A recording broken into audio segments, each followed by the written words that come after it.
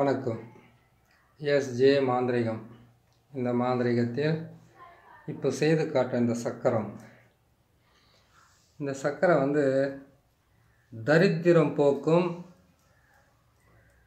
தரித்திரத்தை போக்கக்கூடிய மிகப்பெரிய ஒரு சக்கரம் தான் சொல்லலாம் தேவை தரித்திரம் தரித்திரத்தை போக்கும் தாந்திரீக பரிகாரம் சொல்லலாம் தேவை ஏன்னு கேட்டிங்களானாக்கா இந்த சக்கரத்தை வந்து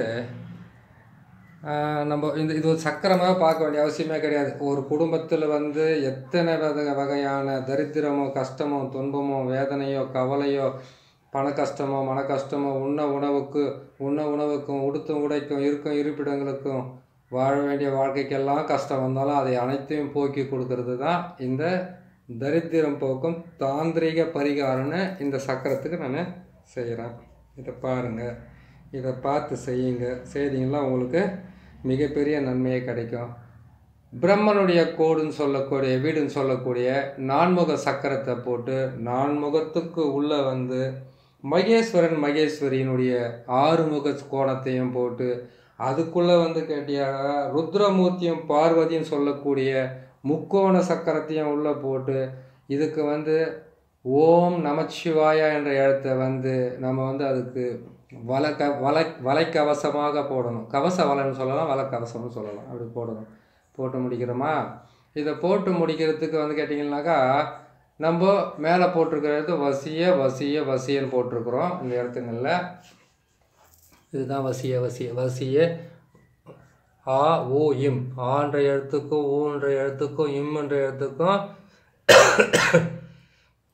படைத்தல் காத்தல் அழித்தல் என்னக்கூடிய மிகப்பெரிய ஒரு தத்துவமே இருக்குது அந்த தத்துவத்தையெல்லாம் அவ்வளோ சீக்கிரத்துலலாம் உங்களுக்கு சொன்னால் புரியாது. பொறுமையாக நான் சொல்லி கொடுக்குறேன். சரிங்களா? பிரம்மனுடைய நாற்கோண சக்கரத்தை போட்டு அதுக்கு உள்ளே வந்து பார்த்தீங்கன்னாக்கா மகேஸ்வரன் மகேஸ்வரனுடைய ஆறு கோண சக்கரத்தை வாழ்வு வாழ்வு சக்கரம் சொல்லக்கூடிய ஆறு கோண சக்கரத்தை போட்டு ருத்ரன் பா ருத்ரன் பார்வதின்னு சொல்லக்கூடிய முக்கோண சக்கரத்தை சென்டராக போட்டிருக்கோம். இங்கே பாருங்க ஆன்ற எழுத்து ஊன்ற எழுத்து ஈம்ன்ற என்ற எழுத்து. அதான் சொல்கிறேனே இது வந்து கேட்டிங்கன்னா இதனுடைய அச்சாரத்தினுடைய உயிர் இது வந்து உயிரெழுத்துன்னு சொல்லலாம். இந்த உயிரெழுத்து வந்து அவ்வளோ சர்வசார விஷயங்கள். இந்த சக்கரத்தை போட்டு ஒருத்தருக்கு உண்டான இந்த தரித்திர நிலையில் இருக்கக்கூடிய ஒரு எந்த எது விளங்காமல் இருக்கோ எது விளங்கி இருக்கோ அதெல்லாம் நல்லபடியாக நல்லா பண்ணி விடலாம். இதுக்கு வந்து ஒரு சின்ன விளக்கத்தையும் சொல்லி தான் ஆகணும். ஏன்னு கேட்டிங்கன்னாக்கா ஒரு முயலாமை. முயலாமை முயற்சி செய்யாமை. அதுக்கப்புறம் கேட்டிங்கன்னாக்கா ஒவ்வொன்றுக்கும் ஒவ்வொரு த இது முன்னோர்கள் வந்து தெளிவாக சித்தர்களும் முன்னோர்களும் சொல்லிட்டு போயிருக்காங்க. என்னன்னு சொல்லி போயிருக்காங்கன்னாக்கா ஒரு மனுஷனுக்கு வந்து கேட்டிங்களானாக்கா இல்லாமை இயலாமை முயலாமை முடியாமை. இந்த நாலு ஆமை நல்லா பாருங்க. அதனால தான் ஆமை பூந்த வீட்டை வந்து ஆறு மாதம் இழுத்து பூட்டுறான்னு சொல்லியிருக்காங்க. ஆனால் இந்த நாலு மட்டுமா முயலாமை இயலாமை முடியாமை செயல் செய்யாமல் இருக்குதுன்னு சொல்கிறாங்க பார்த்தீங்களா அந்த மாதிரி இருக்கிறது வந்து இந்த ஆமை என்ற வார்த்தைக்கே வந்து கேட்டிங்கனாக்கா முடியாமை முயலாமை முயற்சி செய்யாமை. இந்த மாதிரி ஒரு வீட்டுக்குள்ளே வந்து எதுவுமே ஒரு ஆமைன்னு ஒன்று சொல்லக்கூடிய ஒரு பொருள் ஒரு மனுஷன் இருந்தால் அந்த வீடு வந்து விளங்குதா விளங்காது எப்பவுமே. அப்படி இருக்கும்போது இதை எப்படி இது வந்து நம்ம பரிகாரத்து மூலிமா சரி பண்ணால் இந்த சக்கரத்து மூலிமா சரி பண்ண முடியும். இந்த சக்கரத்தை போட்டு நம்ம சரி பண்ணி கொடுக்கலாம். இந்த இல்லாமை இயலாமை முடியாமல் முயலாமை இந்த நாலு ஆமையும் ஒரு வீட்டுக்குள்ளே இருந்தாக்கா அந்த குடும்பம் விளங்காது. ஒரு ஆமை வீட்டுக்குள்ளே போனால் எப்போ ஆறு மாதம் இழுத்து போட்டுன்றாங்களோ அதே மாதிரி இந்த நாலு ஆமையும் வீட்டுக்குள்ளே இருந்தால் கூட செயலாமை செயல் இழக்காமை இப்படியெல்லாம் இருக்குதுங்களே இதுங்களாம் கூட இருக்கக்கூடாது வீட்டுக்குள்ளே. இது ஏன் இந்த வார்த்தை சொல்கிறேன் கேட்டிங்கனாக்கா முயலும் வெல்லும். முயற்சி செய்தால் ஆமையும் வெல்லும். முயலாமை மட்டும் என்றும் வெல்லாது. இது வந்து ஒரு மிகப்பெரிய தத்துவம். இது சருசாரமாக எடுத்துக்கிறீங்களா? நல்லா எடுத்துக்கலாம். முயலும் வெல்லும் முயற்சி செய்தால் ஆமையம் வெல்லும். என்றும் முயலாமை மட்டும் என்றும் வெல்ல வெல்ல வெல்லத்துக்கு உண்டான வாய்ப்பே இல்லைன்னு தான் முன்னோர்கள் சொல்லியிருக்கிறாங்க. முன்னோர்கள் முன்னோர்கள் வாயிலிருந்து உதிரப்பட்ட இந்த மலர்களான இந்த மணிமணியான சொற்களை வந்து நம்ம மனசுலையும் நம்ம சிந்தனையில் நிறுத்தினோம்னா வாழ்க்கையில் வந்து எல்லாமே ஜெயிக்கலாம். ஒரு மனுஷனுக்கு போராட்டம் தான் வாழ்க்கைன்னு கிடையாது. போராட்டத்துக்கு அப்புறம் தான் வந்து எல்லாமே நல்லதே நடக்கும். புரியுதுங்களா? புயல் அடித்ததுக்கப்புறம் தான் வந்து அமைதியை காக்க வேண்டியதாக இருக்கும். மனசுக்குள்ளே கஷ்டம் வந்ததுக்கப்புறம் தான் பார்த்தீங்கன்னாக்கா நன்மைக்கு உண்டான வழியே கிடைக்கும். அந்த மாதிரி இருக்குது. இது இந்த சக்கரத்தை பார்த்து போட்டு கொடுங்க. இந்த சக்கரத்தை வந்து அஷ்டபந்தனம் போடலாம். பூஜை ரூமில் வைக்கலாம். வாசலில் கட்டலாம். அப்படிலாம் கட்டிங்கனாக்கா இதை வந்து ஒரு தாயத்தை செய்து கழுத்தில் போட்டுக்கலாம். அப்படின்னாக்கா வேக வியாபார வர்த்தக வர்த்தக நிலையில் அதை வைக்கலாம். ஏன்னு கேட்டிங்கனாக்கா மிகப்பெரிய தொ- தொழிலதிபர்களுக்கெல்லாம் வந்து இது ரொம்ப முக்கியமாக தேவைப்பட வேண்டியதாக இருக்கும். அதே மாதிரி கேட்டிங்கன்னாக்கா தரித்திரத்தை போக்குறதுக்கு ஒன்று தாந்திரிக பரிகாரம் போட்டிருக்கோம். இது எப்படி தான் தரித்திரத்தை போக்குறது? இந்த ஒரு சக்கரத்தில் ஆகிடுமா இது மட்டும் ஆகாது. உங்களுடைய மூச்சும் சேர்ந்து தேவைப்படும். என்ன மூச்சு தேவைப்படும்?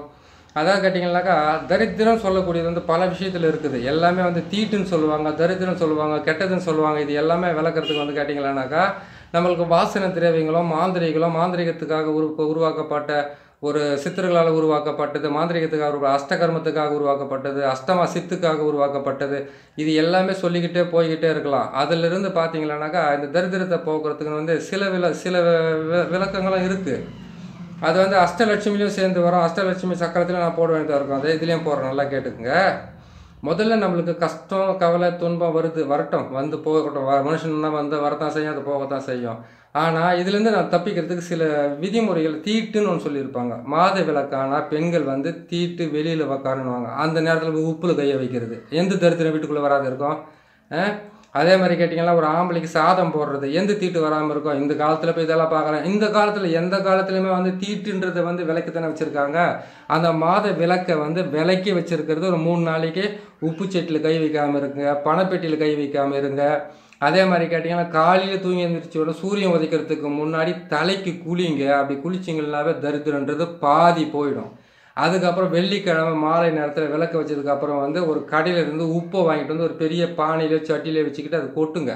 ஏன்னு கேட்டிங்களானாக்கா அதுக்குள்ள வந்து கேட்டிங்கன்னாக்கா நீங்கள் இப்போ நேராக போன பக்கத்தில் ஒரு கடை இருக்கும். அவனே வந்து கடையை ஓடாம என்னப்பா அவன் கடையில் உப்பு வாங்க நீங்கள் கொட்டக்கூடாது. நல்ல ஒரு கடையை சூஸ் பண்ணி நீங்கள் வாங்கணும். என்னென்னு வாங்கணும்னு கேட்டிங்கன்னாக்கா வெள்ளிக்கிழமைக்கு வந்து பெரிய பெரிய கடைகள் வந்து வருஷ கணக்கில் வந்து பெரிய இம்ப்ரூவ்மெண்ட்டாக போயிட்டு உங்கள் ஊர்லேயும் இருக்கும் அது நம்ம நான் இருக்கிற அந்த ஊரில் இருக்குது அந்த மாதிரி ஊருக்குள்ளே இருக்கக்கூடிய கடையில் போயிட்டு அந்த கல் உப்பை வாங்கிட்டு வந்து விளக்க வச்சதுக்கப்புறம் வாங்கிட்டு வந்து கடையில் கடையில் வாங்கிட்டு வந்து நீங்கள் வீட்டில் வந்து ஒரு பெரிய பாத்திரம் அரிசிக்கு ஒரு பெரிய பாத்திரம். ஒன்றுமே இருக்காது. ஒரு பத்து துணியை விற்கிறது கூட பத்தாயிரரூபா ரூபாய் கொடுத்து பீரா வாங்கி வைக்கிறீங்க இல்லையா? உப்பு செட்டிக்குன்னு போயிட்டு ஒரு ஐநூறுரூபா செலவு நல்லா பெரிய ஒரு பானையோ அப்படின்னு கேட்டிங்கன்னா ஒரு டப்பா வாங்கிட்டு அந்த வைக்கலாம் நீங்கள் வச்சிங்கன்னா நல்லதே நடக்கும். சரிங்களா? அதையும் செய்யணும் செய்யத்தான் ஆகணும். அதுக்கப்புறம் இன்னொரு முக்கியமான விஷயம். இந்த பெண்கள் தீட்டு ஆண்கள் தீட்டு அதை கேட்டிங்கனாக்கா ஒரு டெத் ஆகிட்டாக்கா அந்த வீட்டில் காரி சோறு போடுறாங்க பாருங்கள் அதை போயிட்டு பாத்தி கட்டி பாத்தி கட்டி திங்கிறத விட்டுட்டு காரிய சோறுனா துக்கச்சோறுன்னு அர்த்தம். அந்த துக்கச்சோறு வந்து யார் சாப்பிட்ணும் அவங்க பங்காளிங்க அவங்க பழுத்தாளிங்க அவங்க சொந்தக்காரங்க. அந்த உயிர் போனதுக்கு உண்டான உறவாளிங்க போய் சாப்பிட்றதுக்கே வந்து யோசனை பண்ணி சாப்பிடுவாங்க விளக்க பார்க்குறது பல விஷயங்கள்லாம் இருக்குது. தேவையில்லாமல் இன்னொருத்தருடைய தீட்டை விலைக்கு வாங்குற மாதிரி அவங்க வீட்டில் போய் உக்காந்து நீங்கள் மா வயிறார வந்தீங்களா அந்த தீட்டெல்லாம் வீட்டுக்கு கொண்டு வந்து கொண்டு வர வேண்டியதாக இருக்கும். அதை சாப்பிடக்கூடாது. அதுக்கப்புறம் ஒரு பெண் புஷ்பவதி ஆனால் அது கண்ணி தீட்டு. அந்த வீட்டில் போயிட்டு உக்காந்துக்கிட்டு வயிறு நிறைய சோறு தின்ட்டு வர்றது. அதான் கேட்டிங்கன்னா ஒரு துக்க வீட்லேயும் சோறு விடுறதில்ல. அதுக்கப்புறம் கேட்டிங்கனாக்கா ஒரு பொண்ணு புஷ்பவதி ஆனால் சோறு விடுறதில்ல. அதுக்கப்புறம் கேட்டிங்கனாக்கா ஒரு குழந்தை பெற்றாலும் சோறு. எல்லா சாதத்தையும் நீங்கள் மாற்றி மாற்றி சாப்பிட்டு வந்து எனக்கு லட்சுமி வந்து வீட்டில் டான்ஸ் ஆடல. எனக்கு மகாலட்சுமி வந்து பரதநாட்டியம் ஆடலைன்னா எங்கேருந்து ஆடுவாங்க? யாரும் ஆட மாட்டாங்க புரியுதுங்களா? முதல்ல மனசை கட்டுப்படுத்தணும் அதுக்கப்புறம் கேட்டிங்கன்னா வாழ வாழ்நாளினுடைய விதிமுறைகளை தெரிஞ்சு நீங்கள் இது பண்ணிக்கணும். ஒரு கோயிலுக்கு போனாக்கா சிலைங்களை கும்பிட்டு வர்றதுங்க தப்பு கிடையாது. அந்த கோயிலை கட்டின அதுக்காக உயிரையே விட்டு சித்தர்களுடைய சமாதி பக்கம் யாரும் திரும்பி கூட பார்க்கறதில்ல. அது அது அது பார்க்கறதில்ல அது செய்கிறதில்ல ஆனால் கோயிலுக்கு போகிறோன்னு மட்டும் காலங்காத்தால் எழுந்திரிச்சோன்னா மஞ்சாவை பூசி குளிச்சுட்டு ஆம்பளைங்கெல்லாம் குளிச்சுட்டு பேண்ட் சட்டை சுத்தமாக போட்டு நான் கோயிலுக்கு போகிறேன் நான் கோயிலுக்கு போகிறேன்னு ஊரெல்லாம் சொல்லிட்டு போகிறது பெருசு கிடையாது. நீங்கள் போகிற கோயிலுக்கு உண்டான தன்மை வேணும். அந்த தன்மை என்னன்னு கேட்டிங்களானாக்கா எந்த கோயிலை கட்டுறதுக்காக எந்த சித்தர் பாடுபட்டார் யார் மூலியமாக இந்த கோயில் உருவாக அந்த சமாதியில் போய் உட்காந்து ரெண்டு நிமிஷம் அவங்க மனசார உருகி வேண்டிட்டு வந்தீங்களா அது கண்டிப்பாக நல்லது நடக்கும். அது கிடையாது. அவங்க உருவாக்கின கருவறைக்குள்ளே நீங்கள் போகிறது நான் வேணான்னு சொல்லலை. ஆனால் அது உருவாக்குறதுக்கு காரணமாக இருந்தவங்களுடைய பாதத்தை தொட்டால் தானே நம்ம பாவமெல்லாம் குறையும். அதையெல்லாம் செய்கிறது கிடையாது. அந்த மாதிரி ஒரு போயிட்டு வந்தீங்கன்னா புண்ணியம் கிடைக்கும். உங்களுக்கு உண்டான இது கிடைக்கும். அந்த மாதிரி சித்தர்களுடைய கோயில் ஸ்தலமும் அவங்க இருக்கக்கூடிய சமாதி எங்கே இருக்குதுன்றது எனக்கு ஓரளவுக்கு தெரிஞ்சிருக்குது. அது எனக்கு சிற்றறிவுக்கு எட்டியதுன்னு உங்களுக்கு சொல்கிறேன்னா உங்களுடைய பேரறிவுக்கு அது எட்டுதான்னு பார்க்கலாம். அதுக்கப்புறம் நான் சொல்லிவிட்டு இன்னொரு பதிவில் இன்னொரு பதிவில் சொல்லிக்கிட்டு வரேன். ஏன்னு கேட்டால் வீடியோ நீளம் கருதி உங்களுக்குன்னா இதை நான் சொல்லிக்கிட்டு வரேன். சரிங்களா? அந்த மாதிரி ஒரு வீட்டில் துக்க சாப்பாடு சாப்பிட்றதுக்கு போய் போய் சாப்பிடக்கூடாது அது மாதிரிலாம் அந்த மாதிரி போகக்கூடாது. பங்கம் பங்காளிக்கு அங்கே போகலாம். அவங்களுடைய உடன்பிறப்பு அவங்களுடைய எத்தனையோ சொந்தம் அவங்கெல்லாம் போகலாம். நீங்கள் வந்து இந்த தீட்டுங்களெல்லாம் கொஞ்சம் கொஞ்சம் விலகிட்டு வந்தால் தான் மாதவிடை என்பது வந்து வீட்டை விட்டு விலக்கி நிற்க வைக்கிறது தான் அது டைமில் உப்பு செட்டில் கை வைக்கக்கூடாது பணப்பெட்டியில் கை வைக்கக்கூடாது காதில் இருக்கிற நகை மேலே கை வைக்கக்கூடாது எவ்வளோ ஃபார்மாலிட்டிஸ் இருக்குது நாட்டில் வாழறதுக்காக அதெல்லாம் விட்டு போடுறது. என் அப்பா பார்த்தாலும் ஏதாச்சும் ஒன்று செஞ்சு போட்டு வீட்டுக்குள்ளே கஷ்டம் வருது அது வருதுன்னு ஏன் வராது போவோம்? சொல்லுங்கள் பார்க்கலாம். அதே மாதிரி இன்னொரு முக்கியமான விஷயம் ஒரு ஆணாக இருந்தாலும் பெண்ணாக இருந்தாலும் தன்னுடைய ஆண் உறுப்பையும் பெண் உறுப்பையும் ஒரு நாளைக்கு மூணு முறையாவது சுத்தப்படுத்தணும். குளிக்கும்போது வந்து குளிகன்னு சொல்லக்கூடிய அந்த தொப்புள் கொடியை வந்து சுத்தமாக க்ளீன் பண்ணணும். ஏன் குளிகை பகவான் கேட்டிங்கனாக்கா யமனுக்கு கூட உயிரிடக்கூடிய சக்தி இருக்குதா இல்லையா தெரியாது. உங்களுக்கு வந்து முஷ முழுசாக அந்த விஷயமெல்லாம் எதுவுமே தெரியுமா தெரியாது தெரியல எனக்கு. யமனுக்கு கூட அந்த அளவுக்கு சக்தி இருக்காது. ஆனால் சனி பகவான் கூட சக்தி இருக்கும் ஆனால் சனியினுடைய மகன் சொல்லக்கூடிய மாந்தி என்கின்ற குளிகை இருக்கிறாரு பாருங்க. உயிரை எடுக்கிறதுலையும் மாந்திரிகத்திலையும் மருத்துவத்திலையும் எல்லாத்துலேயும் வல்லன்னு சொல்லலாம். பேராசு பேராசிரியர்னு சொல்லலாம் அந்த அளவுக்கு வந்து மிகப்பெரிய த நுணுக்கங்களையும் மினப்பெ மிகப்பெரிய சக்திகளை வச்சு வாழ்ந்துக்கிட்டு இருக்கிற அவர்கிட்டலாம் இந்த பாட்சாலாம் பலிக்கவே பலிக்காது. புரியுதுங்களா? எதுக்காக கேரளாவில் மாந்தியை வச்சு வேலை செய்கிறாங்க மாந்தியை வச்சு வேலை செய்கிறாங்கன்னு எல்லாமே சொல்லுவாங்க. மாந்தி இல்லைன்னா மாய இல்லை மாந்தி இல்லைன்னா மாந்திரிகம் இல்லை. மாந்தி இல்லைன்னா ஒரு மனிதனுக்கு பிறப்பு இறப்புன்றதுக்கு உண்டான எல்லா முழு எல்லாம் சொல்லுவாங்க. மனுஷனுக்கு வந்து தொப்புள் கொடி தொப்புள் கொடி ரொம்ப முக்கியமானது அதெல்லாம் உண்மையான விஷயம் தான். அந்த தொப்புள் கொடிக்குள்ளே இருந்து எல்லா விதமான நாடி நரம்பையும் ஆட்டி படைக்கக்கூடிய சக்தியும் மாந்தி கையில் தான் இருக்குது. இதனுடைய ரகசியம் வந்து எத்தனை பேருக்கு தெரியுதுன்னு தெரியாது. எனக்கு நல்லா தெரியும். அதனால தான் உங்கள்கிட்ட நான் சொல்லிக்கிட்டு இருக்கிறேன். நீங்கள் என்ன சரின்னு கேட்டிங்களேனாக்கா இந்த ஆண் உறுப்பு பெண் உறுப்புன்னு சொல்லக்கூடிய மர்மஸ்தான இடத்துங்களை வந்து ஒரு நாளைக்கு மூணு முறையாக சுத்தப்படுத்தணும். குளிக்கும் போது வந்து பார்த்தீங்கன்னா தொப்புள் கொடியை சுத்தமாக அழுக்கு இல்லாத மாதிரி எடுக்கணும். அதே மாதிரி கேட்டிங்கன்னா தூங்கி ஏந்திரிச்ச உடனே நீங்கள் என்ன பண்ணணுனாக்கா முதல்ல போய் மூ உங்கள் மூஞ்சியை பார்க்காதீங்க. முதல்ல எடுத்து எடுத்தோன்னே போயிட்டு நான் மூஞ்சியை பார்த்து அது கூட சொல்லியிருக்காங்க. தூங்கு நம்ம முகத்தை நம்ம பார்த்தோம்னா மகாலட்சுமி கடாட்சன்னு அது உள்ளங்கையை பாருங்கள் வலது கை உள்ளங்கையை பார்த்தா அது ஒரு மகாலட்சுமி கடாட்சம் தான். வீட்டுக்குள்ளே தூங்கி எழுந்திரிச்ச உடனே பசங்களுடைய முகத்தை பார்க்கணும் குழந்தைங்களோட முகத்தை பார்க்கணும் அப்பா அம்மா முகத்தை பார்க்கணும். தேவையில்லாத காதல் காதலி முகத்தை மொய்க்கிறது காதல் முகத்தில் மொய்க்கிறது இதெல்லாம் ஒரு மு- இதெல்லாம் ஒரு இதுவா? நான் என்ன சொல்கிறேன்னு கேட்டிங்களானாக்கா அப்பா அம்மா முகத்தை முழிச்சிங்கனாக்கா அவங்களுடைய கவலைகளும் கண்ணீர் உங்கள் கண்ணுக்கு தெரியும். அது சுத்தப்படுத்தினா உங்களுக்கு கடவுளே வந்து உங்களுக்கு ஆசீர்வாதம் நீங்கள் பெத்த பிள்ளைங்களுடைய முகத்துக்குள்ளே என்ன இருக்குது எது இருக்குன்னு தேடலாம். இது எல்லாம் எதனா ஒன்று நீங்கள் பார்த்து பயம் பக்தியோடு செய்யலாம் அது கூட இன்றைக்கே செய்தால் சரியாக போடுமா? நாளைக்கு செய்த சரியாக அப்புறம் அப்படி இல்லை தொடர்ந்து செய்துக்கிட்டு வாங்க. நன்மைகள் நடக்கும். ஏன்னு கேட்டிங்கனாக்கா உங்களை பெற்று எடுக்கிறதுக்கு எத்தனை வருஷம் ஆச்சு அவங்களுக்கு? ஆனால் ஆனால் உங்களுக்கு இப்போ அவங்க முகத்தை பார்த்து கஷ்டமாக இருக்குதோ என்னமோ நீங்கள் பொறுமையாக கொஞ்சம் பார்த்துக்கிட்டு வாங்க. அதே மாதிரி வெள்ளிக்கிழமை சாயந்தரம் விளக்க வச்சதுக்கப்புறம் வந்து கல் உப்பை வாங்கிட்டு வந்து வீட்டுக்குள்ளே கொட்டி வைங்க. மாதவிடையான காலத்தில் வந்து காசு பணத்து மேலேயோ தங்க நகை மேலேயோ வெள்ளி நகை மேலேயோ உப்பு சட்டியில் கையை வைக்காதீங்க.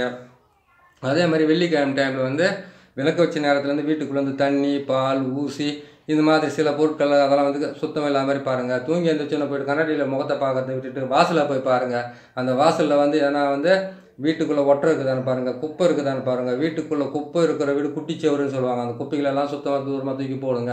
வாரத்தில் ஒரு ரெண்டு நாளைக்கு மூணு நாளைக்கு சுத்தப்படுத்திக்கிட்டு வாங்க. நம்ம முகத்தை மட்டும் ஒரு நாள் தவறாது நம்ம வந்து வாசனை திரவங்களையும் எல்லாத்தையும் பேஸ்ட்டும் கிஸ்ட்டும் போட்டு மூஞ்செல்லாம் க்ளீன் பண்ணி ஆசையாக இருக்குதுல்ல? அதே மாதிரி அந்த வீட்டையும் க்ளீன் பண்ணி வைங்க. உங்கள் அகத்தையும் க்ளீன் பண்ணிக்கோங்க உங்கள் உள்ளத்தையும் க்ளீன் எல்லாமே தேகத்தை சுத்தமாக க்ளீன் பண்ணி வச்சிங்கனாவே போதுமான விஷயம். புரியுதுங்களா?